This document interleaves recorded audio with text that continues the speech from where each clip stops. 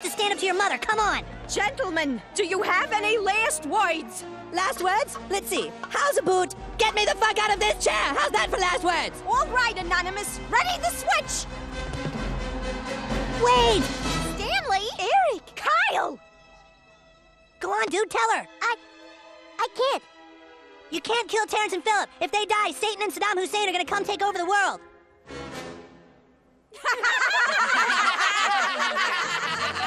Throw the switch, Mr. Garrison. Hey, I'm supposed to be anonymous. Ah!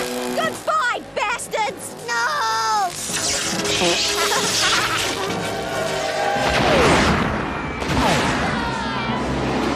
The Canadians are attacking. Run for your lives. Come on, we have to shut off the power.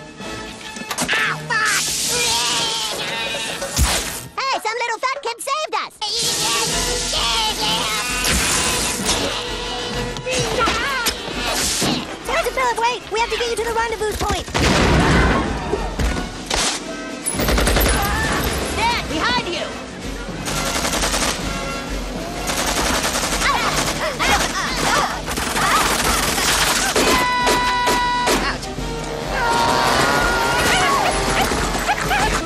Duh, Canadian.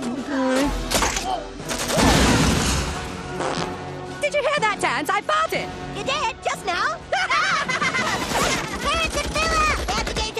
You to point. Hey, it's Mr. Garrison. Children, take Miss, Mr. Hand. Please, get him out of here. Holy shit! Hey, this beach ship is getting all screwy. Take cover in the trench. All right then. Human shield up front, then Operation Get Behind the Darkest. Remember, Human Shield, protect our tanks and planes too. Holy Mother of Jehoshaphat! Fire on my command. All right, squad. Just like I told you.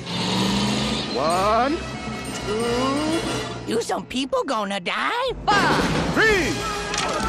What the no? Great plan, Chef. Operation Human Shield my ass. We're going to find our boys. For God's sake, Sheila, we're going to get them killed.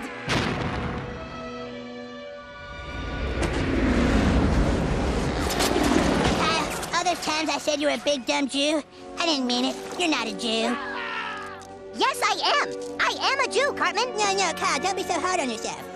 Hey, the hell am I still holding this for? Mr. Hand, no! Fuck this, dude. I'm getting out of here before I get in really big trouble. I heard that. Stan! Dude, I found the clitoris, so now I think I can get Wendy to like me again. Oh, that's swell, Stan. Yeah, I guess all's well that ends well, huh? We can go home now, you dipshit. Oh, what's wrong with this thing? Come on, we can't let Terrance and Phillip die, or else the whole world's gonna end. Did you forget that your own adopted son is Canadian? I'm. I, I'm doing very important things. But, Mom, you never took the time to talk to me. Whenever I get in trouble, you go off and blame everybody else. But I'm the one to blame. Deal with me. You keep going off and fighting all these causes, but I don't want a fighter. I want my mom. Little fella.